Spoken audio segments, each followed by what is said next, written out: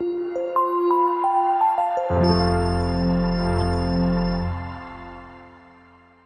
Hi friends welcome to online CD channel ഇന്ന് നമ്മൾ discuss ചെയ്യാൻ പോകുന്ന ഇന്ത്യൻ കോൺസ്റ്റിറ്റ്യൂഷനെ പറ്റിയാണ്. നമ്മൾ ഇന്നിവിടെ ഒരു പുതിയ ഒരു വീഡിയോ സീരീസ് ആരംഭിക്കുകയാണ് ഇന്ത്യൻ കോൺസ്റ്റിറ്റ്യൂഷനെ ബേസ് ചെയ്തിട്ടുള്ളത്. ഇത് എല്ലാ കോമ്പറ്റേറ്റീവ് എക്സാമുകൾക്കും യൂസ്ഫുൾ ആവുന്ന രീതിയിലാണ്. അതായത് ആർ ആർ ബി ആയിക്കോട്ടെ എസ് എസ് സി ആയിക്കോട്ടെ പി എസ് സി ആയിക്കോട്ടെ എല്ലാ കോമ്പറ്റേറ്റീവ് എക്സാമുകൾക്കും യൂസ്ഫുൾ ആവുന്ന വിധത്തിലാണ് നമ്മൾ ഈ കോഴ്സ് ഡിസൈൻ ചെയ്തിട്ടുള്ളത്. അതേപോലെ വീഡിയോയുടെ താഴെയുള്ള ഡിസ്ക്രിപ്ഷൻ ബോക്സിലെ ലിങ്കിൽ നിന്ന് നിങ്ങൾക്ക് ഓരോ ക്ലാസ്സിന്റെയും ക്ലാസ് നോട്ട് ഡൗൺലോഡ് ചെയ്യാവുന്നതാണ്. അതേപോലെ തന്നെ നമ്മൾ പ്രീവിയസ് ഇയർ ക്വസ്റ്റ്യൻസും ഇതിന്റെ കൂടെ പ്രൊവൈഡ് ചെയ്യുന്നതായിരിക്കും. ഓക്കെ അപ്പോൾ നമ്മൾ ഇന്ന് ഡിസ്കസ് ചെയ്യാൻ പോകുന്ന കോൺസ്റ്റിറ്റ്യൂന്റ് അസംബ്ലിയെ പറ്റിയാണ് ഓക്കെ നമുക്കറിയാം ഇന്ത്യ എന്ന് പറയുന്ന വേൾഡിലെ ഏറ്റവും വലിയ ഡെമോക്രസിയാണ് ഈ ഇന്ത്യയുടെ കോൺസ്റ്റിറ്റ്യൂഷനാണ് വേൾഡിലെ തന്നെ ഏറ്റവും വലിയ റിട്ടേൺ കോൺസ്റ്റിറ്റ്യൂഷൻ ഏറ്റവും ലെങ്തിയസ്റ്റ് ആയിട്ടുള്ള റിട്ടേൺ കോൺസ്റ്റിറ്റ്യൂഷൻ എന്ന് പറയുന്ന ഇന്ത്യയുടെ കോൺസ്റ്റിറ്റ്യൂഷനാണ് എങ്ങനെയാണ് ഇന്ത്യ ഈ കോൺസ്റ്റിറ്റ്യൂഷൻ ഫോം ചെയ്തത് ഓക്കെ ഇന്ത്യയുടെ ഈ ഏറ്റവും ലെങ്തിയസ്റ്റ് ആയിട്ടുള്ള ഈ കോൺസ്റ്റിറ്റ്യൂഷൻ ഫോം ചെയ്യാൻ സഹായിച്ച അതിൽ ഒരു സുപ്രധാന പങ്ക് വഹിച്ചത് ഒന്നാണ് കോൺസ്റ്റിറ്റ്യൂവന്റ് അസംബ്ലി എന്ന് പറയുന്നത്. ഈ കോൺസ്റ്റിറ്റ്യൂവന്റ് അസംബ്ലിയെ പറ്റിയായിരിക്കും നമ്മൾ മെയിൻലി ഇന്ന് ഡിസ്കസ് ചെയ്യാൻ പോകുന്നത്. അതേപോലെ തന്നെ എന്താണ് കോൺസ്റ്റിറ്റ്യൂഷൻ അതേപോലെ തന്നെ ടൈപ്പ് ഓഫ് കോൺസ്റ്റിറ്റ്യൂഷൻ പിന്നെ കുറച്ച് ബേസിക് കാര്യങ്ങളും കൂടി നമ്മൾ ഈ ഇന്നത്തെ ക്ലാസ്സിൽ ഡിസ്കസ് ചെയ്യുന്നുണ്ടാവും.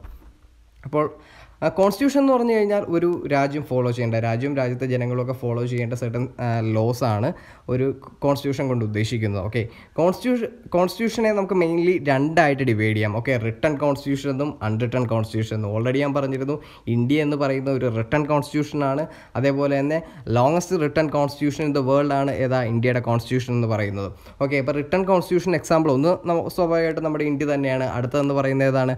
U S A U S എയുടെ കോൺസ്റ്റിറ്റ്യൂഷനും റിട്ടേൺ ആണ് ഓക്കെ യു എസ് എയുടെ കോൺസ്റ്റിറ്റ്യൂഷൻ ഒരു പ്രത്യേകതയുണ്ട്. ഇന്ത്യയുടേത് ലോങ്ങസ്റ്റ് കോൺസ്റ്റിറ്റ്യൂഷൻ ആണെങ്കിൽ റിട്ടേൺ കോൺസ്റ്റിറ്റ്യൂഷൻ ആണെങ്കിൽ അതിന് നേരെ ഓപ്പോസിറ്റ് ആണ് യു എസ് എയുടെ അതായത് ഷോർട്ടസ്റ്റ് ഷോർട്ടസ്റ്റും അതേപോലെ തന്നെ ഓൾഡസ്റ്റ് റിട്ടേൺ കോൺസ്റ്റിറ്റ്യൂഷനും യു എസ് എയുടെ കോൺസ്റ്റിറ്റ്യൂഷനാണ് അതായത് ആയിരത്തി എഴുന്നൂറ്റി എൺപത്തി ഒമ്പതിൽ തന്നെ യു എസ് എയുടെ കോൺസ്റ്റിറ്റ്യൂഷൻ നിലവിൽ വന്നിരുന്നു. അപ്പോൾ എത്ര വർഷം മുമ്പ് ഇന്ത്യയുടെ കോൺസ്റ്റിറ്റ്യൂഷനൊക്കെ ഫോം ചെയ്യുന്നതിന് എത്രയോ വർഷം മുമ്പ് തന്നെ എന്താ യു എസ് എയുടെ കോൺസ്റ്റിറ്റ്യൂഷൻ നിലവിലുണ്ടായിരുന്നു എന്ന് നമുക്ക് ആലോചിച്ചെടുക്കാവുന്നേ ഉള്ളൂ. അതേപോലെ തന്നെ father of American constitution James Madison ആണ്. അമേരിക്കൻ കോൺസ്റ്റിറ്റ്യൂഷൻ ഫോം ചെയ്യുന്നതിൽ സുപ്രധാന പങ്കുവച്ച വ്യക്തിയായിരുന്നു ജെയിംസ് മാഡിസൺ അതുകൊണ്ട് തന്നെ ഫാദർ ഓഫ് അമേരിക്കൻ കോൺസ്റ്റിറ്റ്യൂഷൻ എന്നറിയപ്പെടുന്ന ജെയിംസ് മാഡിസൺ ആണ്. പിന്നെ അൺറിട്ടൺ കോൺസ്റ്റിറ്റ്യൂഷൻ അൺറിട്ടൺ കോൺസ്റ്റിറ്റ്യൂഷൻ എക്സാമ്പിളാണ് ബ്രിട്ടനിലെയും ഇസ്രായേലിലെയും കോൺസ്റ്റിറ്റ്യൂഷൻ അവിടെയും നമ്മുടെ ഇവിടുത്തെ പോലെ അതായത് ഇന്ത്യയിലെയും യു എസ് എയിലെയും പോലെ കൃത്യമായി എഴുതി തിട്ടപ്പെടുത്തിയ ഒരു കോൺസ്റ്റിറ്റ്യൂഷൻ അവിടെ ഇല്ല. അവരൊരു സെർട്ടൺ ലോസ് അവർ ഫോളോ ചെയ്യുന്നു. അതാണ് ബ്രിട്ടനിലും ഇസ്രയേലിലും ഒക്കെ സംഭവിക്കുന്നത്. അതായത് അവിടെ അൺറിട്ടൺ കോൺസ്റ്റിറ്റ്യൂഷൻ ആണ് നിലവിലുള്ളത്. അപ്പം ഇത്രയും കാര്യം ഒന്നുകൂടി. റിട്ടേൺ കോൺസ്റ്റിറ്റ്യൂഷനും നോൺ റിട്ടേൺ കോൺസ്റ്റിറ്റ്യൂഷൻ എന്നിങ്ങനെ രണ്ടായിട്ട് കോൺസ്റ്റിറ്റ്യൂഷനെ ഡിവൈഡ് ചെയ്യാം. യു എസ് എയും ഇന്ത്യയും ഫോളോ ചെയ്യുന്ന റിട്ടേൺ കോൺസ്റ്റിറ്റ്യൂഷനാണ് യു എസ് എയുടെ കോൺസ്റ്റിറ്റ്യൂഷൻ എന്ന് പറയുന്ന ഏറ്റവും ഓൾഡസ്റ്റും അതേപോലെ തന്നെ ഏറ്റവും ഷോർട്ടസ്റ്റ് ആയിട്ടുള്ള കോൺസ്റ്റിറ്റ്യൂഷനുമാണ് ഇത് ആയിരത്തി എഴുന്നൂറ്റി എൺപത്തി ഒമ്പതിൽ തന്നെ യു എസ് എയുടെ കോൺസ്റ്റിറ്റ്യൂഷൻ നിലവിൽ വരുന്നു വന്നിരുന്നു. ജെയിംസ് മാഡിസൺ ആണ് ഫാദർ ഓഫ് അമേരിക്കൻ കോൺസ്റ്റിറ്റ്യൂഷൻ എന്നറിയപ്പെടുന്ന. ഇന്ത്യയുടെ കോൺസ്റ്റിറ്റ്യൂഷനാണ് ലോങ്ങസ്റ്റ് റിട്ടേൺ കോൺസ്റ്റിറ്റ്യൂഷൻ അതേപോലെ അൺറിട്ടേൺ കോൺസ്റ്റിറ്റ്യൂഷൻ എക്സാമ്പിളാണ് ബ്രിട്ടനിലെയും ഇസ്രായേലിലെയും കോൺസ്റ്റിറ്റ്യൂഷൻസ് അതേപോലെ കോൺസ്റ്റിറ്റ്യൂഷനെ വേറെ രീതിയിലും അതായത് മറ്റൊരു ക്ലാസിഫിക്കേഷൻ കൂടിയുണ്ട് കോൺസ്റ്റിറ്റ്യൂഷനെ കോൺസ്റ്റിറ്റ്യൂഷനെ റിജിഡ് കോൺസ്റ്റിറ്റ്യൂഷൻ എന്നും ഫ്ലെക്സിബിൾ കോൺസ്റ്റിറ്റ്യൂഷനും എന്നും തരംതിരിക്കാവുന്നതാണ്. റിജിഡ് കോൺസ്റ്റിറ്റ്യൂഷൻ എന്ന് വെച്ച് കഴിഞ്ഞാൽ അതിനെ ഈസി ആയിട്ട് നമുക്ക് അമെൻഡ് ചെയ്യാൻ സാധിക്കുകയില്ല. അതേപോലെ തന്നെ ഫ്ലെക്സിബിൾ ആണെങ്കിൽ അതിനെ നമുക്ക് എന്താ ഈസി ആയിട്ട് അതിൽ മാറ്റങ്ങൾ വരുത്താം. അതായത് ഈസി ആയിട്ട് ആ കോൺസ്റ്റിറ്റ്യൂഷൻ അമെൻഡ് ചെയ്യാം. ഇന്ത്യ ഫോളോ ചെയ്യുന്നത് ഇത് രണ്ടിന്റെയും കൂടി ഒരു മിക്സ് ആയിട്ടുള്ള രൂപമാണ്. അതായത് ഇന്ത്യൻ കോൺസ്റ്റിറ്റ്യൂഷൻ നമുക്ക് അങ്ങനെ ഈസി ആയിട്ട് അമെൻഡ് ചെയ്യാനും സാധിക്കത്തില്ല. എന്നാൽ അമെൻഡ് ചെയ്യാനും സാധിക്കുകയും ചെയ്യും. അതായത് ഒരു ഇതിന് രണ്ടിനും കൂടിയുള്ള ഒരു ഇടയ്ക്കുള്ള നിലപാടാണ് ഇന്ത്യ സ്വീകരിച്ചിരിക്കുന്നത്. അപ്പം ഇന്ത്യൻ കോൺസ്റ്റിറ്റ്യൂഷൻ എന്ന് പറയുന്നത് റിജിഡും ആണ് ഫ്ലെക്സിബിളും ഓക്കെ അപ്പോൾ നമ്മുടെ കോൺസ്റ്റിറ്റ്യൂഷനിലേക്ക് അതായത് കോൺസ്റ്റിറ്റ്യൂഷൻ എന്നൊരു ആശയം ആദ്യമായിട്ട് മുന്നോട്ട് വെച്ചത് എം എൻ റോയിയാണ് അദ്ദേഹം അദ്ദേഹത്തിന്റെ പത്രമായ ഇന്ത്യൻ പാട്രിയോട്ട് എന്ന് പറയുന്ന പത്രത്തിലൂടെയാണ് ഈ ആശയം മുന്നോട്ട് വെച്ചത്. അപ്പോൾ നമ്മൾ എം എൻ റോയി എന്ന് പറയുന്ന വ്യക്തിയെപ്പറ്റി കുറച്ച് അറിഞ്ഞിരിക്കേണ്ടതുണ്ട്. എം എൻ റോയിയാണ് ഇന്ത്യൻ കമ്മ്യൂണിസ്റ്റ് പാർട്ടിക്ക് രൂപം നൽകിയത്. താഷ്കണ്ടിൽ വെച്ച് ഇന്ത്യൻ കമ്മ്യൂണിസ്റ്റ് പാർട്ടിക്ക് രൂപം നൽകിയത് ആരാണ്? എം എൻ റോയിയാണ് അതേപോലെ തന്നെ അദ്ദേഹം ആണ് റാഡിക്കൽ ഡെമോക്രാറ്റിക് പാർട്ടി ആയിരത്തി തൊള്ളായിരത്തി നാൽപ്പതിൽ റാഡിക്കൽ ഡെമോക്രാറ്റിക് പാർട്ടി സ്ഥാപിച്ചതും ആരാണ്? എം എൻ റോയിയാണ് പിന്നെ വളരെ ഇമ്പോർട്ടന്റ് ആയിട്ടുള്ള പി എസ് സിക്കൊക്കെ ഒത്തിരി തവണ ചോദിച്ചിട്ടുള്ള ക്വസ്റ്റ്യനാണ് പീപ്പിൾസ് പ്ലാൻ ജനകീയ പ്ലാനിന് ജനകീയ പ്ലാൻ ആരുടെയാണ് എന്ന് പലതവണ ചോദിച്ചിട്ടുണ്ട്. അതും എം എൻ റോയിയാണ് പീപ്പിൾസ് പ്ലാന്റെ ആസൂത്രകൻ എന്ന് പറയുന്നത്. ഓക്കെ അപ്പോൾ ഇത്രയും കാര്യങ്ങൾ എം എൻ റോയ് ആയിട്ട് ഓർത്തിരിക്കുക. കുറച്ച് കാര്യം കൂടി ഓർത്തിരുന്നു. അതായത് അദ്ദേഹത്തിന്റെ കുറച്ച് ബുക്സ് കൂടിയുണ്ട് ഇന്ത്യ ഇൻ ട്രാൻസിഷൻ അതേപോലെ തന്നെ ദ പോവർട്ടി ഇതെല്ലാം ആരുടെയാണ്? എം എൻ റോയിയുടെ കുറച്ച് രണ്ട് ഫേമസ് ആയിട്ടുള്ള ബുക്ക് കൂടിയാണ് ഇതുകൂടി ഒന്ന് ഓർത്തിരിക്കുക. അപ്പോൾ എം എൻ റോയി ആണ് ഇന്ത്യയ്ക്ക് ഒരു കോൺസ്റ്റിറ്റ്യൂഷൻ വേണം എന്ന ഒരു കാര്യം ആദ്യമായിട്ട് മുന്നോട്ട് വെച്ചത്. ആയിരത്തി തൊള്ളായിരത്തി മുപ്പത്തി നാലിൽ ഇന്ത്യൻ പാട്രിയോട്ട് എന്ന് പറയുന്ന അദ്ദേഹത്തിന്റെ ന്യൂസ് പേപ്പറിലൂടെയാണ് ഈ ഒരു ആശയം മുന്നോട്ട് വെച്ചത്. ആദ്യമായിട്ട് ഒരു പൊളിറ്റിക്കൽ പാർട്ടി കോൺസ്റ്റിറ്റ്യൂഷൻ വേണമെന്ന് ആദ്യമായിട്ട് ഒരു പൊളിറ്റിക്കൽ പാർട്ടി ഡിമാൻഡ് ചെയ്തത് സ്വരാജ് പാർട്ടിയായിരുന്നു. നമ്മൾ കഴിഞ്ഞ ദിവസം പ്രീവിയസ് ഇയർ ക്വസ്റ്റ്യൻ ഡിസ്കസ് ചെയ്തപ്പോൾ സ്വരാജ് പാർട്ടിയെ പറ്റി ഡീറ്റെയിൽ ആയിട്ട് തന്നെ ഇവിടെ പറഞ്ഞിരുന്നു. സ്വരാജ് പാർട്ടി ഫോം ചെയ്തത് സി ആർ ദാസും മോത്തിലാൽ നെഹ്റുവും കൂടിയാണ്. ഓക്കെ. അപ്പോൾ സ്വരാജ് പാർട്ടിയാണ് ഒരു പൊളിറ്റിക്കൽ പാർട്ടി എന്ന നിലയിൽ ആദ്യമായിട്ട് കോൺസ്റ്റിറ്റ്യൂഷൻ വേണമെന്ന് ഡിമാൻഡ് ചെയ്തത്. കോൺസ്റ്റിറ്റ്യൂവന്റ് അസംബ്ലി ഫോം ചെയ്യുന്നതിൽ സുപ്രധാന പങ്കുവഹിച്ച ഒന്നാണ് cabinet mission okay cabinet mission ആയിരത്തി തൊള്ളായിരത്തി നാൽപ്പത്തി ആറിലാണ് ക്യാബിനറ്റ് മിഷൻ ഫോം ചെയ്യുന്നത്. ഈ ക്യാബിനറ്റ് മിഷനിൽ ഉൾപ്പെട്ടിരിക്കുന്ന ബ്രിട്ടീഷ് ക്യാബിനറ്റിലെ മൂന്ന് മെമ്പേഴ്സ് ആയിരുന്നു Pethick Lawrence Stafford Cripps A V Alexander എന്നീ മൂന്ന് മെമ്പേഴ്സ് ആയിരുന്നു. ഇവർ മൂന്ന് പേരും ബ്രിട്ടീഷ് ക്യാബിനറ്റിലെ മെമ്പേഴ്സ് ആയിരുന്നു. അതുകൊണ്ട് തന്നെയാണ് ഇതിന് ക്യാബിനറ്റ് മിഷൻ എന്ന പേര് വന്നത്. അതേപോലെ തന്നെ ഇവരെ ഇന്ത്യയിലേക്ക് അയച്ചത് അന്നത്തെ ബ്രിട്ടീഷ് പ്രൈം മിനിസ്റ്റർ ആയിട്ടുള്ള ക്ലെമന്റ് അറ്റ്ലിയാണ്. അപ്പോൾ ഇത്രയും ഓർത്തിരിക്കുക. ആയിരത്തി തൊള്ളായിരത്തി നാൽപ്പത്തി ആറിലാണ് എന്താണ് നമ്മുടെ ക്യാബിനറ്റ് മിഷൻ ഫോം ചെയ്തത് ഈ ക്യാബിനറ്റ് മിഷൻ ഇന്ത്യയിലേക്ക് അയക്കുന്നത് അന്നത്തെ ബ്രിട്ടീഷ് പ്രൈം മിനിസ്റ്റർ ആയിട്ടുള്ള അറ്റ്ലിയാണ് ക്ലെമന്റ് അറ്റ്ലിയാണ്. ഇന്ത്യയിലേക്ക് ഇവരെ അയക്കുന്നത്. അങ്ങനെ ആയിരത്തി തൊള്ളായിരത്തി നാൽപ്പത്തി ആറ് മാർച്ച് ഇരുപത്തി മൂന്നിനാണ് ആയിരത്തി തൊള്ളായിരത്തി നാൽപ്പത്തി ആറ് മാർച്ച് ഇരുപത്തി മൂന്നിന് ക്യാബിനറ്റ് മിഷൻ ഇന്ത്യയിലെത്തി. ക്യാബിനറ്റ് മിഷന്റെ ഉദ്ദേശം ഇതായിരുന്നു. അതായത് ബ്രിട്ടീഷിൽ നിന്നും ബ്രിട്ടീഷുകാരിൽ നിന്നും ഭരണം ഇന്ത്യയിലേക്ക് കൈമാറുകയും അതേപോലെ തന്നെ ഒരു കോൺസ്റ്റിറ്റ്യൂഷൻ ഫോം ചെയ്യാൻ വേണ്ടി ഇന്ത്യയെ സഹായിക്കുക എന്നീ രണ്ട് ഉദ്ദേശങ്ങളായിരുന്നു പ്രധാനമായിട്ടും ക്യാബിനറ്റ് മിഷന് ഉണ്ടായിരുന്നത്. ഓക്കെ. ഈ ക്യാബിനറ്റ് മിഷനിലെ അംഗങ്ങളെന്ന് പറയുന്നത് Stafford Cripps Pethick Lawrence A V Alexander എന്നിങ്ങനെ മൂന്ന് പേരായിരുന്നു. ഇതിൽ ചെയർമാൻ എന്ന് പറയുന്ന പെത്തിക് ലോറൻസ് ആയിരുന്നു. അപ്പോൾ ഇത്രയും കാര്യങ്ങൾ ക്യാബിനറ്റ് മിഷനുമായിട്ട് ഓർത്തിരിക്കുക. ഇത് ആയിരത്തി ആയിരത്തി തൊള്ളായിരത്തി നാൽപ്പത്തി ആറിലാണ് ഫോം ചെയ്തത്. ഇവരെ ഇന്ത്യയിലേക്ക് അയക്കുന്ന ക്ലെമന്റ് അറ്റ്ലിയാണ് അന്നത്തെ ബ്രിട്ടീഷ് പ്രൈം മിനിസ്റ്റർ. ഇന്ത്യയ്ക്ക് ഒരു കോൺസ്റ്റിറ്റ്യൂവന്റ് അസംബ്ലി ഫോം ചെയ്യാൻ വളരെയധികം സഹായിച്ചത് ഈ ക്യാബിനറ്റ് മിഷൻ ആയിരുന്നു ഓക്കെ. ഇനി ഇവർ ഫൈനൽ റിപ്പോർട്ട് ഒരു കാര്യം കൂടി ഓർത്തിരിക്കുക. ഇവർ ഫൈനൽ റിപ്പോർട്ട് സമർപ്പിച്ചത് ആയിരത്തി തൊള്ളായിരത്തി നാൽപ്പത്തി ആറ് മെയ് പതിനാറിനാണ്. ഈ ഇവർ സമർപ്പിച്ച അതായത് ക്യാബിനറ്റ് മിഷൻ സമർപ്പിച്ച ഈ റിപ്പോർട്ട് പ്രകാരം ആദ്യം അതായത് കോൺസ്റ്റിറ്റ്യൂന്റ് അസംബ്ലിയിലേക്ക് വേണ്ടിയുള്ള ഇലക്ഷൻ നടക്കുകയാണ്. ആയിരത്തി തൊള്ളായിരത്തി നാൽപ്പത്തി ആറ് ജൂലൈ ഓഗസ്റ്റിനും ആയിട്ടാണ് ഈ ഒരു ഇലക്ഷൻ നടക്കുന്നത്. ഇതിനെ തുടർന്ന് മുന്നൂറ്റി എൺപത്തി ഒമ്പത് മെമ്പേഴ്സ് എലക്ട് ചെയ്യപ്പെട്ടു. ഇതിൽ തൊണ്ണൂറ്റി മൂന്ന് മെമ്പേഴ്സും പ്രിൻസിലി സ്റ്റേറ്റിൽ നിന്നും അതേപോലെ തന്നെ ഇരുന്നൂറ്റി തൊണ്ണൂറ്റിയാറ് മെമ്പേഴ്സ് ബ്രിട്ടീഷ് ഇന്ത്യയിൽ നിന്നുമാണ്. അപ്പം ഈ കാര്യം കൂടി ഓർത്തിരിക്കുക. ആയിരത്തി തൊള്ളായിരത്തി നാൽപ്പത്തി ആറ് ജൂലൈ ഓഗസ്റ്റിലാണ് ഇലക്ഷൻ നടന്നത്. കോൺസ്റ്റിറ്റ്യൂന്റ് അസംബ്ലിയിലേക്കുള്ള ഇതിൽ നിന്ന് ഇതിൽ നിന്ന് എലക്ട് ചെയ്യപ്പെട്ടത് മുന്നൂറ്റി എൺപത്തി ഒമ്പത് പേരാണ്. ഇതിൽ തൊണ്ണൂറ്റി മൂന്ന് പേരും പ്രിൻസിലി സ്റ്റേറ്റിൽ നിന്നും ഇരുന്നൂറ്റി തൊണ്ണൂറ്റി ആറ് പേര് ബ്രിട്ടീഷ് ഇന്ത്യയിൽ നിന്നുമാണ് എലക്ട് ചെയ്യപ്പെട്ടത്. ഇനി അങ്ങനെ ആയിരത്തി തൊള്ളായിരത്തി നാൽപ്പത്തി ആറ് ഡിസംബർ ആറിന് കോൺസ്റ്റിറ്റ്യൂന്റ് അസംബ്ലി ഫോം ചെയ്യണം. ഇത് വളരെ ഇമ്പോർട്ടന്റ് ആണ്. അപ്പോൾ ഓർത്തിരിക്കുക ആയിരത്തി തൊള്ളായിരത്തി നാൽപ്പത്തി ആറ് ഡിസംബർ ആറിനാണ് കോൺസ്റ്റിറ്റ്യൂവന്റ് അസംബ്ലി ഫോം ചെയ്തത്. ഇനി ബാക്കിയുള്ള കാര്യങ്ങൾ നമുക്കൊരു ടൈം ലൈനിലൂടെ പഠിക്കാം. അടുത്തായിട്ട് നമുക്ക് കോൺസ്റ്റിറ്റ്യൂവന്റ് അസംബ്ലി ഫോം ചെയ്തത് മുതൽ കോൺസ്റ്റിറ്റ്യൂൻ കോൺസ്റ്റിറ്റ്യൂഷൻ എക്സിസ്റ്റൻസിൽ വരുന്നത് വരെയുള്ള ആ ഒരു കാലഘട്ടത്തെ ഒരു ടൈം ലൈനിലൂടെ പഠിക്കാം. ആയിരത്തി തൊള്ളായിരത്തി നാൽപ്പത്തി ആറ് ഡിസംബർ ആറിനാണ് കോൺസ്റ്റിറ്റ്യൂന്റ് അസംബ്ലി ഫോം ചെയ്തു എന്ന് ഓൾറെഡി പറഞ്ഞിരുന്നു. ഓക്കെ അത് കഴിഞ്ഞിട്ട് ആയിരത്തി തൊള്ളായിരത്തി നാൽപ്പത്തി ആറ് ഡിസംബർ ഒമ്പതിനാണ് കോൺസ്റ്റിറ്റ്യൂന്റ് അസംബ്ലിയുടെ ആദ്യത്തെ മീറ്റിംഗ് നടക്കുന്നത്. ആയിരത്തി തൊള്ളായിരത്തി നാൽപ്പത്തി ആറ് ഡിസംബർ ആറിന് കോൺസ്റ്റിറ്റ്യൂന്റ് അസംബ്ലി ഫോം ചെയ്യുമ്പോൾ ഇതായിരുന്നു കോൺസ്റ്റിറ്റ്യൂന്റ് അസംബ്ലിയുടെ എംബ്ലം അപ്പോൾ കോൺസ്റ്റിറ്റ്യൂന്റ് അസംബ്ലിയിൽ ഉണ്ടായിരുന്ന ആ ഒരു മൃഗം ഏതാണ്? അല്ല ആനിമൽ ഏതാണെന്ന് പി എസ് സിയുടെ ഒരു ക്വസ്റ്റ്യൻ പേപ്പറിൽ ചോദിച്ചിരുന്നു. അത് ഒരു എലിഫന്റ് ആണ് കോൺസ്റ്റിറ്റ്യൂവന്റ് അസംബ്ലിയുടെ എംബ്ലത്തിലുള്ളത് ഓക്കെ അത് കഴിഞ്ഞിട്ട് ആയിരത്തി തൊള്ളായിരത്തി നാൽപ്പത്തി ആറ് ഡിസംബർ ഒമ്പതിന് ആദ്യത്തെ മീറ്റിംഗ് നടക്കുകയാണ്.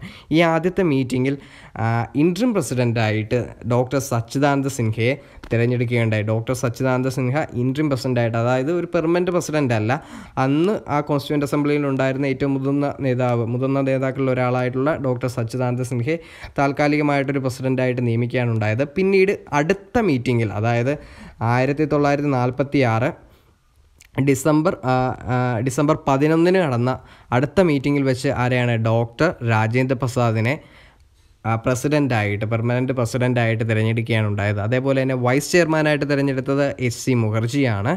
അതേപോലെ തന്നെ ലീഗൽ അഡ്വൈസർ കോൺസ്റ്റിറ്റ്യൂന്റ് അസംബ്ലിയുടെ ലീഗൽ അഡ്വൈസറായിട്ട് തിരഞ്ഞെടുക്കപ്പെട്ടത് ബി എൻ റാവുവിനെയാണ്. പിന്നീട് ആയിരത്തി തൊള്ളായിരത്തി നാൽപ്പത്തി ആറ് ഡിസംബർ പതിമൂന്നിന് വീണ്ടും ഒരു രണ്ട് ദിവസം കൂടി കഴിഞ്ഞിട്ട് Jawaharlal Nehru objective resolution constituent അസംബ്ലിയിൽ അവതരിപ്പിക്കുകയാണ് ഉണ്ടായത്. ഇത് ഇതാണ് പിന്നീട് നമ്മുടെ കോൺസ്റ്റിറ്റ്യൂൻ കോൺസ്റ്റിറ്റ്യൂഷന്റെ പ്രിയാമ്പിളായിട്ട് മാറിയത്. അപ്പോൾ ഇത് വളരെ ഇമ്പോർട്ടന്റ് ആണ്. ജവഹർലാൽ നെഹ്റു ആണ് ഒബ്ജക്റ്റീവ് റെസൊല്യൂഷൻ കോൺസ്റ്റിറ്റ്യൂന്റ് അസംബ്ലി അവതരിപ്പിക്കുന്നത്. അതേപോലെ തന്നെ ഈ ഒബ്ജക്റ്റീവ് റെസൊല്യൂഷൻ ആണ് പിന്നീട് നമ്മുടെ കോൺസ്റ്റിറ്റ്യൂ കോൺസ്റ്റിറ്റ്യൂഷന്റെ പ്രിയാമ്പിളായിട്ട് മാറിയത്. അത് ആയിരത്തി തൊള്ളായിരത്തി നാൽപ്പത്തി ആറ് ഡിസംബർ പതിമൂന്നിനാണ്. പിന്നീട് ആയിരത്തി തൊള്ളായിരത്തി നാൽപ്പത്തി ഏഴ് ജനുവരി ഇരുപത്തിരണ്ടിന് ഒബ്ജക്റ്റീവ് റെസൊല്യൂഷൻ എന്താ? യുനാനിവേഴ്സലി അവർ പാസ്സാക്കി അത് അഡോപ്റ്റ് ചെയ്യുകയുണ്ടായി. അത് ആയിരത്തി തൊള്ളായിരത്തി നാൽപ്പത്തി ഏഴ് ജനുവരി ഇരുപത്തിരണ്ടിനാണ്. പിന്നീട് ആയിരത്തി തൊള്ളായിരത്തി നാൽപ്പത്തി ഏഴ് ജൂലൈ ഇരുപത്തി രണ്ടിന് നമ്മുടെ national flag constituent assembly adopt ചെയ്യാനുണ്ടായത്. അപ്പോൾ നാഷണൽ ഫ്ലാഗിനെ പറ്റി നമ്മൾ കുറച്ച് അറിഞ്ഞിരിക്കേണ്ടതുണ്ട് നമ്മുടെ നാഷണൽ ഫ്ലാഗ് ഡിസൈൻ ചെയ്ത പിങ്കലി വെങ്കയാണ്. അപ്പം നാഷണൽ ഫ്ലാഗ് ഡിസൈൻ ചെയ്ത പിങ്കലി വെങ്കയാണ്. അതേപോലെ തന്നെ നാഷണൽ ഫ്ലാഗിന് ത്രീ ഇസ്റ്റ് ടു എന്ന റേഷ്യോ ആണ് നമുക്ക് എല്ലാവർക്കും അറിയാം ലെങ്തും ബ്രെത്തും തമ്മിലുള്ള റേഷ്യോ എന്ന് പറയുന്ന ത്രീ ഇസ്റ്റ് ടു ആ ഒരു റേഷ്യോയിൽ മാത്രമേ നമ്മുടെ നാഷണൽ ഫ്ലാഗ് നിർമ്മിക്കുവാൻ സാധിക്കാൻ സാധിക്കുകയുള്ളൂ. അതേപോലെ തന്നെ നാല് കളറാണുള്ളത് അതായത് സാഫ്രോൺ ഉണ്ട് വൈറ്റ് ഉണ്ട് അതേപോലെ തന്നെ ഗ്രീൻ ഉണ്ട്. പിന്നീട് നടുക്ക് അശോകചക്രം നേവി ഗ്രീ നേവി ബ്ലൂ കളറിലുമാണ് ഉള്ളത്. അതിൽ അശോക ചക്രയിൽ ഇരുപത്തിനാല് സ്പോക്ക് അല്ലെങ്കിൽ ഇരുപത്തിനാല് അരക്കാലുകളാണ് അശോക ചക്രയിലുള്ളത്. അപ്പോൾ ഇത്രയും കാര്യം നമ്മൾ നാഷണൽ ഫ്ലാഗുമായിട്ട് ഓർത്തിരിക്കുക. ആയിരത്തി തൊള്ളായിരത്തി നാൽപ്പത്തി ഏഴ് ജൂലൈ ഇരുപത്തിരണ്ടിനാണ് നാഷണൽ ഫ്ലാഗ് അഡോപ്റ്റ് ചെയ്തത്. അപ്പോൾ ഇത്രയും ഒന്നുകൂടി നിങ്ങൾക്ക് ഒന്നുകൂടി ഓർക്കാൻ എളുപ്പമുണ്ടാവും. അപ്പോൾ ആദ്യം എന്ന കോൺസ്റ്റിറ്റ്യൂന്റ് അസംബ്ലി ഫോം ചെയ്ത് ആയിരത്തി തൊള്ളായിരത്തി നാൽപ്പത്തി ആറ് ഡിസംബർ ആറിന്. മൂന്ന് ദിവസം കൂടി കഴിഞ്ഞ് ആയിരത്തി തൊള്ളായിരത്തി നാൽപ്പത്തി ആറ് ഡിസംബർ ഒൻപതിന് ആദ്യത്തെ മീറ്റിംഗ് നടക്കുന്നു. ആദ്യത്തെ മീറ്റിങ്ങിൽ ആരാ? ഡോക്ടർ സച്ചിദാനന്ദ സിൻഹ ഇൻട്രീം പ്രസിഡന്റായിട്ട് തിരഞ്ഞെടുക്കപ്പെടുന്നു. അതേപോലെ ഒരു കാര്യം പറയാൻ വിട്ടുമായിരുന്നു first person to address constituent assembly ആദ്യമായിട്ട് കോൺസ്റ്റിറ്റ്യൂന്റ് അസംബ്ലി അഡ്രസ്സ് ചെയ്തത്. അതായത് ഈ ഫസ്റ്റ് മീറ്റിംഗിൽ കോൺസ്റ്റിറ്റ്യൂന്റ് അസംബ്ലി ആദ്യമായിട്ട് അഡ്രസ്സ് ചെയ്ത് സംസാരിച്ചത് ജെ ബി കൃപലാനിയാണ്. അത് പറയാൻ വിട്ടുപോയതാണ്. ജെ ബി കൃപലാനിയാണ് കോൺസ്റ്റിറ്റ്യൂന്റ് അസംബ്ലി ആദ്യമായിട്ട് അഡ്രസ്സ് ചെയ്ത് സംസാരിച്ചത്. അതേപോലെ ആയിരത്തി തൊള്ളായിരത്തി നാൽപ്പത്തി ആറ് ഡിസംബർ പതിനൊന്നിന് രാജേന്ദ്ര പ്രസാദിനെ പെർമനന്റ് പ്രസിഡന്റായിട്ട് തിരഞ്ഞെടുക്കുന്നു. അതേപോലെ വൈസ് ചെയർമാനായിട്ട് എസ് സി മുഖർജിയെ തിരഞ്ഞെടുക്കുന്നു. അതേപോലെ ലീഗൽ അഡ്വൈസറായിട്ട് ബി എൻ റാവുവിനെ തിരഞ്ഞെടുക്കുന്നു. അത് കഴിഞ്ഞിട്ട് ഡിസംബർ പതിമൂന്നിന് ജവഹർലാൽ നെഹ്റു ഒബ്ജക്റ്റീവ് റെസൊല്യൂഷൻ പാസ്സാക്കുന്നു. പിന്നീട് ഇതെന്താ? നമ്മുടെ കോൺസ്റ്റിറ്റ്യൂഷന്റെ പ്രിയാമ്പിളായിട്ട് മാറുകയാണ് ഉണ്ടായത്. പിന്നീട് അടുത്ത അടുത്ത അടുത്തതെന്ന് പറയുന്ന ആയിരത്തി തൊള്ളായിരത്തി നാൽപ്പത്തി ഏഴ് ജനുവരി ഇരുപത്തിരണ്ടിന് ഒബ്ജക്റ്റീവ് റെസൊല്യൂഷൻ അഡോപ്റ്റ് ചെയ്യുകയുണ്ടായി. പിന്നീട് ജൂലൈ ഇരുപത്തിരണ്ടിനാണ് നമ്മുടെ national flag constitution constituent assembly adopt ചെയ്യുന്നത്. പിന്നീട് ആയിരത്തി തൊള്ളായിരത്തി നാൽപ്പത്തി ഏഴ് ഓഗസ്റ്റ് പതിനഞ്ചിന് നമുക്ക് സ്വാതന്ത്ര്യം ലഭിക്കുന്നു. അതായത് ഇന്ത്യയും പാകിസ്ഥാനും ഒന്ന് സെപ്പറേറ്റ് ആകുകയാണ് ഉണ്ടായത്. പിന്നീട് ആയിരത്തി തൊള്ളായിരത്തി നാൽപ്പത്തി ഏഴ് ഓഗസ്റ്റ് ഇരുപത്തി ഒമ്പതിന് ഡ്രാഫ്റ്റിംഗ് കമ്മിറ്റി ഡ്രാഫ്റ്റിംഗ് കമ്മിറ്റിയുടെ ചെയർമാനായിട്ട് ആരെയാണ് ഡോക്ടർ ബി ആർ അംബേദ്കറിനെ തിരഞ്ഞെടുക്കുന്നത്. അതായത് നമ്മുടെ കോൺസ്റ്റിറ്റ്യൂ കോൺസ്റ്റിറ്റ്യൂഷന്റെ ഫാദർ ഓഫ് ഇന്ത്യൻ കോൺസ്റ്റിറ്റ്യൂഷൻ എന്നറിയപ്പെടുന്ന ആരാ? ഡോക്ടർ ബി ആർ അംബേദ്കറാണ്. ഓക്കെ അപ്പോൾ ബി ആർ അംബേദ്കറിനെ എന്താ? നമ്മുടെ കോൺസ്റ്റിറ്റ്യൂ ഡ്രാഫ്റ്റിംഗ് കമ്മിറ്റിയുടെ ഡ്രാഫ്റ്റിംഗ് കമ്മിറ്റിയുടെ ചെയർമാനായിട്ട് തിരഞ്ഞെടുക്കുന്നു. ഡ്രാഫ്റ്റിംഗ് കമ്മിറ്റിയിൽ ബി ആർ അംബേദ്കറിനെ കൂടാതെ അല്ലാടി കൃഷ്ണസ്വാമി അയ്യർ പിന്നീട് D P Khaitan M Madhav Rao K M Munshi N Gopalaswamy V T Krishnamachari Muhammad Saadulla എന്നിങ്ങനെ ഡ്രാഫ്റ്റിംഗ് കമ്മിറ്റിയിൽ ഇത്രയും ഏഴ് പേരായിരുന്നു ഉണ്ടായിരുന്നത് ഡോക്ടർ ബി ആർ അംബേദ്കർ ആയിരുന്നു അതിന്റെ ചെയർമാൻ ഡ്രാഫ്റ്റിംഗ് കമ്മിറ്റിയുടെ ചെയർമാൻ. ഈ ഡ്രാഫ്റ്റിംഗ് കമ്മിറ്റിയുടെ ചെയർമാനായിട്ട് ബി ആർ അംബേദ്കറെ അപ്പോയിന്റ് ചെയ്തത് ഓഗസ്റ്റ് ഇരുപത്തി ഒമ്പതിനാണ് ആയിരത്തി തൊള്ളായിരത്തി നാൽപ്പത്തി ഏഴ് ഓഗസ്റ്റ് ഇരുപത്തി ഒൻപതിനാണ് ഇത് കഴിഞ്ഞിട്ട് അടുത്ത സംഭവം എന്ന് പറഞ്ഞു കഴിഞ്ഞാൽ ആയിരത്തി തൊള്ളായിരത്തി നാൽപ്പത്തി എട്ട് ജൂലൈ പത്തൊമ്പതിന് എച്ച് സി മുഖർജിയോടൊപ്പം വി ടി കൃഷ്ണമാചാര്യയും എന്താ ഇതിന്റെ കോൺസ്റ്റിറ്റ്യൂവന്റ് അസംബ്ലിയുടെ വൈസ് പ്രസിഡന്റായിട്ട് എലക്ട് ചെയ്യുകയുണ്ടായി. ഓക്കെ അത് വളരെ ഇമ്പോർട്ടൻസ് ഒന്നും ഉള്ള കാര്യമല്ല. ഇതുവരെ ചോദിച്ചു കണ്ടിട്ടില്ല. അടുത്തത് ഇമ്പോർട്ടന്റ് ആണ്. ആയിരത്തി തൊള്ളായിരത്തി നാൽപ്പത്തി ഒമ്പത് നവംബർ ഇരുപത്തിയാറിനാണ് കോൺസ്റ്റിറ്റ്യൂൻ കോൺസ്റ്റിറ്റ്യൂഷൻ അഡോപ്റ്റ് ചെയ്തത് okay constituent assembly Indian constitution adopt ചെയ്ത് ആയിരത്തി തൊള്ളായിരത്തി നാൽപ്പത്തി ഒമ്പത് നവംബർ ഇരുപത്തിയാറിനാണ്. ഇതാണ് നമ്മൾ കോൺസ്റ്റിറ്റ്യൂഷൻ ഡേ ആയിട്ട് സെലിബ്രേറ്റ് ചെയ്യുന്നത്. അപ്പോൾ വളരെ ഇമ്പോർട്ടന്റ് ആണ്. ആയിരത്തി തൊള്ളായിരത്തി നാൽപ്പത്തി ഒൻപത് നവംബർ ഇരുപത്തിയാറിനാണ് കോൺസ്റ്റിറ്റ്യൂന്റ് അസംബ്ലി കോൺസ്റ്റിറ്റ്യൂഷൻ അഡോപ്റ്റ് ചെയ്തത്. പിന്നീട് ആയിരത്തി തൊള്ളായിരത്തി നാൽപ്പത്തി ഒമ്പത് ജനുവരി ഇരുപത്തിനാലിനാണ് ലാസ്റ്റ് മീറ്റിംഗ് ലാസ്റ്റ് മീറ്റിംഗ് നടക്കുന്നത്. ലാസ്റ്റ് മീറ്റിംഗ് നടക്കുമ്പോൾ ലാസ്റ്റ് മീറ്റിങ്ങിൽ മുപ്പത്തി മുന്നൂറ്റി തൊണ്ണൂറ്റിയഞ്ച് ആർട്ടിക്കിളും എട്ട് ഷെഡ്യൂളും ഇരുപത്തിരണ്ട് പാർട്ട് പാർട്സും ആയിരുന്നു നമ്മുടെ എന്താ ഇന്ത്യൻ കോൺസ്റ്റിറ്റ്യൂഷൻ ഉണ്ടായിരുന്നത്. ഈ കോൺസ്റ്റിറ്റ്യൂഷൻ സൈൻ ചെയ്യുകയും ആയിരത്തി തൊള്ളായിരത്തി അൻപത് ജനുവരി ഇരുപത്തി ആറിന് ഇന്ത്യൻ കോൺസ്റ്റിറ്റ്യൂഷൻ നിലവിൽ വന്നു. ഓക്കെ ഇതാണ് ഇന്ത്യൻ കോൺസ്റ്റിറ്റ്യൂന്റ് അസംബ്ലിയുടെ ആദ്യം അതായത് തുടക്കം മുതൽ ഇന്ത്യൻ കോൺസ്റ്റിറ്റ്യൂൻ കോൺസ്റ്റിറ്റ്യൂഷൻ നിലവിൽ വരുന്ന വരെയുള്ള കാലഘട്ടം ഒരു ടൈം ലൈനായിട്ട് പറയുകയാണെങ്കിൽ ഇത്രയും കാര്യങ്ങളാണ് നിങ്ങൾ അതിനകത്ത് ഓർത്തിരിക്കേണ്ടത്. അതേപോലെ തന്നെ കോൺസ്റ്റിറ്റ്യൂഷൻ കംപ്ലീറ്റ് ആയിട്ട് ഫോം ചെയ്തത് അതായത് കംപ്ലീറ്റ് ആയിട്ട് ഇതിന്റെ ഒരു പീരീഡിൽ എടുത്ത സമയം എന്ന് പറയുന്നത് പതിനൊന്ന് മാസവും രണ്ട് വർഷവും പതിനൊന്ന് മാസവും പതിനെട്ട് ദിവസവുമാണ് കംപ്ലീറ്റ്ലി ഈ കോൺസ്റ്റിറ്റ്യൂ കോൺസ്റ്റിറ്റ്യൂഷൻ കോൺസ്റ്റിറ്റ്യൂഷൻ ഫോം ചെയ്യാൻ വേണ്ടി ആവശ്യമായിട്ട് വന്നത്. ഇതിന് ഏകദേശം six point four million rupees ചിലവായി. അതായത് അറുപ അറുപത്തിനാല് ലക്ഷം രൂപയോളമാണ് ചിലവായത്. അത് അന്ന് അത്രയും രൂപ ചിലവായത് വലിയൊരു എമൗണ്ട് ആയിരുന്നു. അതേപോലെ തന്നെ അറുപതോളം രാജ്യങ്ങൾ ഈ കോൺസ്റ്റിറ്റ്യൂന്റ് അസംബ്ലിയിലെ മെമ്പേഴ്സ് സന്ദർശിക്കുകയുണ്ടായി. ഓക്കെ അവിടെ നിന്ന് പല കാര്യങ്ങളും ഇന്ത്യൻ കോൺസ്റ്റിറ്റ്യൂഷൻ അഡോപ്റ്റ് ചെയ്തിട്ടുണ്ട്. അത് നമുക്ക് അടുത്ത ക്ലാസ്സിൽ ഡീറ്റെയിൽ ആയിട്ട് ഡിസ്കസ് ചെയ്യാം. അടുത്തായി കോൺസ്റ്റിറ്റ്യൂവന്റ് അസംബ്ലിയിലെ കുറച്ച് ഇമ്പോർട്ടന്റ് ആയിട്ടുള്ള കമ്മിറ്റീസും അതിന്റെ ചെയർമാൻസും ഫ്രീക്വന്റ് ആയിട്ട് എക്സാമിന് ചോദിക്കാറുണ്ട്. നമ്മൾ അതുകൂടി അറിഞ്ഞിരിക്കേണ്ടതുണ്ട്. ഓക്കെ ഫസ്റ്റ് കൊണ്ടാണ് committee on rules of procedure അതേപോലെ തന്നെ steering committee finance and staff committee ad hoc committee on national flag okay ഇങ്ങനെ നാല് കമ്മിറ്റിയുടെയും ചെയർമാൻ ഈ നാല് കമ്മിറ്റിയുടെയും ചെയർമാൻ രാജേന്ദ്ര പ്രസാദാണ് ഇമ്പോർട്ടന്റ് ആണ്. Committee on rules of procedure അതേപോലെ തന്നെ steering committee finance and staff committee ad hoc committee on on the national flag okay ഈ നാല് കമ്മിറ്റിയുടെയും ചെയർമാൻ ഡോക്ടർ രാജേന്ദ്ര പ്രസാദാണ് ഇനി അടുത്ത ഒരു മൂന്ന് കമ്മിറ്റിയുടെ chairman Jawaharlal നെഹ്റുവാണ്. Union power committee union constitution committee അതേപോലെ തന്നെ സ്റ്റേറ്റ് സ്റ്റേറ്റ്സ് കമ്മിറ്റി. ഓക്കെ ഇത് മൂന്നിന്റെയും ചെയർമാൻ ജവഹർലാൽ നെഹ്റുവാണ്. അപ്പോൾ ഓക്കെ യൂണിയൻ വരുന്ന രണ്ട് കമ്മിറ്റിയുടെയും ചെയർമാൻ ആരാണ്? ജവഹർലാൽ നെഹ്റുവാണ്. അതേപോലെ തന്നെ സ്റ്റേറ്റ്സ് കമ്മിറ്റി ഇതിന്റെ ചെയർമാനും ആരാണ്? ജവഹർലാൽ നെഹ്റുവാണ്. അടുത്ത ഡ്രാഫ്റ്റിംഗ് കമ്മിറ്റി ഓൾറെഡി നമ്മൾ പറഞ്ഞു അതായത് ഡോക്ടർ ബി ആർ അംബേദ്കർ ആയിരുന്നു ഡ്രാഫ്റ്റിംഗ് കമ്മിറ്റിയുടെ ചെയർമാൻ. അടുത്താണ് advisory committee on fundamental rights. Minority and tribal and excluded areas ഇതിന്റെ എല്ലാത്തിന്റെയും കൂടി ചെയർമാൻ എന്ന് പറയുന്നത് വല്ല വല്ലഭായ് പട്ടേലാണ്. ഓക്കെ ഓർത്തിരിക്കുക advisory committee on fundamental rights minority and tribal and excluded areas minority and tribal and excluded areas ഇതിന്റെ എല്ലാത്തിന്റെയും ചെയർമാൻ ആരാ? വല്ലഭായ് പട്ടേലാണ്. അടുത്താണ് മൈനോറിറ്റി സബ് കമ്മിറ്റി അത് എച്ച് സി മുഖർജിയാണ് അപ്പോൾ മൈനോറിറ്റി കമ്മിറ്റിയുടെ ചെയർമാൻ വല്ലഭായ് പട്ടേലാണ് സർദാർ വല്ലഭായ് പട്ടേലാണ്. അതേപോലെ തന്നെ മൈനോറിറ്റി സബ് കമ്മിറ്റിയുടെ ചെയർമാൻ എച്ച് സി മുഖർജിയാണ്. ഇനി ഫണ്ടമെന്റൽ റൈറ്റ്സ് സബ് കമ്മിറ്റിയുടെ ചെയർമാൻ ജെ ബി കൃപലാനി അപ്പം ഇത് മൂന്നും ഒന്നുകൂടി ഓർത്തിരിക്കുക തിരിഞ്ഞു പോരുത്. ഫണ്ടമെന്റൽ റൈറ്റ്സ് കമ്മിറ്റിയുടെ ചെയർമാൻ എന്ന് പറയുന്ന സർദാർ വല്ലഭായ് പട്ടേലാണ്. പക്ഷേ ഫണ്ടമെന്റൽ റൈറ്റ്സ് സബ് കമ്മിറ്റിയുടെ ചെയർമാൻ ജെ ബി കൃപലാനി ഇനി മൈനോറിറ്റി കമ്മിറ്റിയുടെ ചെയർമാൻ എന്ന് പറയുന്ന വല്ലഭായ് പട്ടേലാണ്. പക്ഷേ മൈനോറിറ്റി സബ് കമ്മിറ്റിയുടെ ചെയർമാൻ എസ് സി മുഖർജിയാണ്. ക്രെഡൻഷ്യൽ കമ്മിറ്റി ക്രെഡൻഷ്യൽ കമ്മിറ്റിയുടെ ചെയർമാൻ അല്ലാടി കൃഷ്ണസ്വാമി അയ്യരാണ്.